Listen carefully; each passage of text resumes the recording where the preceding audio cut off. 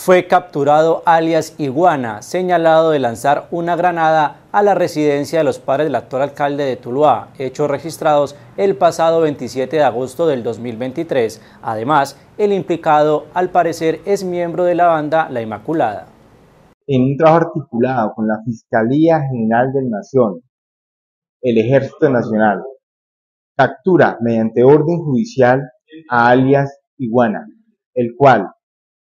eh, habría sido el actor material del lanzamiento de una granada de fragmentación